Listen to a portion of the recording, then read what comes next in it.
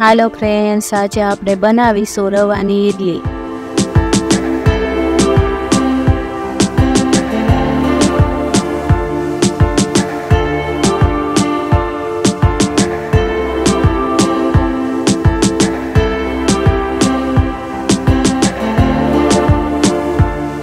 તો ચાલો શરૂ કરીએ આજની રેસીપી એક વાટકો આ મેં રવો લીધો છે.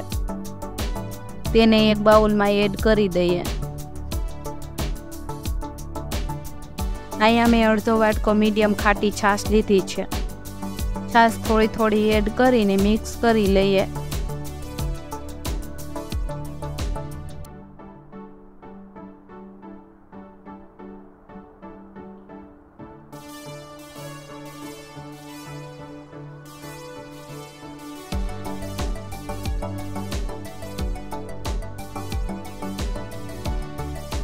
તો અહીંયા મેં અડધો વાટકો પાણી લીધું છે. જરૂર પ્રમાણે પાણી ઉમેરીને મીડિયમ ઠીક બેટર બનાવી લઈએ. તો આ રીતનો બેટર તૈયાર કરી લીધું છે.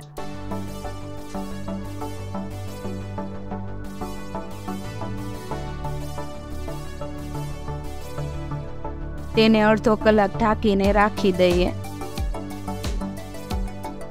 તો હવે અડધો કલાક થઈ ગઈ છે. તેમાં અડધી ચમચી મીઠું એડ કરીને મિક્સ કરી લઈએ.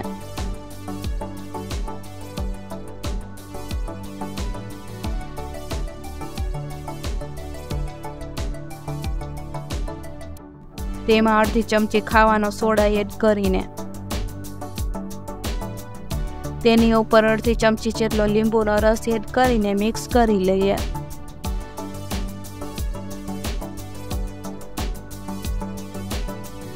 હવે ઈડલીના સ્ટેન્ડને તેલથી ગ્રીસ કરી લઈએ.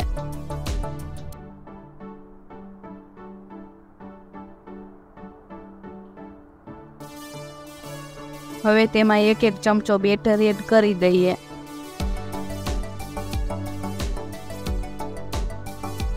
મેં પહેલાં જ પાણીને ગરમ થવા રાખી દીધું હતું. તો આ સરસ પાણી ગરમ થઈ ગયું છે, તેમાં હવે ઈડલીનું સ્ટેન્ડ રાખી દઈએ. તેને ઢાંકીને પાંચ મિનિટ માટે સ્ટીમ થવા દઈએ. તો હવે પાંચ મિનિટ થઈ ગઈ છે, તેને ચેક કરી લઈએ. તો આ રીતના છરીએથી ચેક કરી, તો છરીમાં બેટર ચોટે નહીં, તો આ ઈડલી તૈયાર થઈ ગઈ છે. તેને નીચે ઉતારીને પાંચ મિનિટ માટે ઠંડી થવા દઈએ. તેમાં હવે બીજી ઈડલીનું સ્ટેન્ડ તૈયાર કરેલું મૂકી દઈએ. હવે આ ઈડલી ઠંડી થઈ ગઈ છે, તેને કાઢી લઈએ.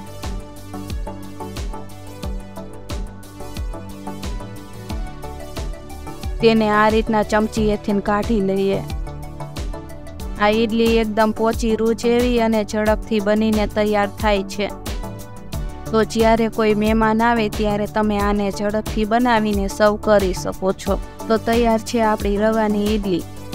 જો રવા ઈડલી તમે ક્યારેય ના બનાવી હોય તો જરૂર બનાવીને ટ્રાય કરજો.